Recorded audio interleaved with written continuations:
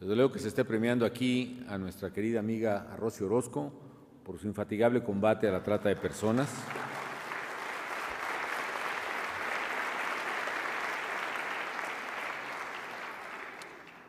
No nos hemos dado cuenta de,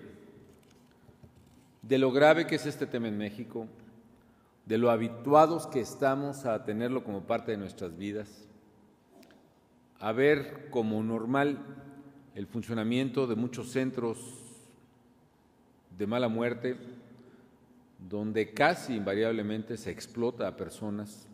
se abusa de mujeres, muchas de ellas desde que son menores de edad,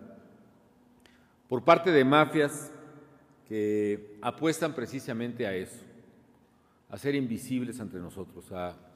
a que las veamos con normalidad. Un problema viejo, cada vez más lacerante y del que afortunadamente Rocío Orozco ha estado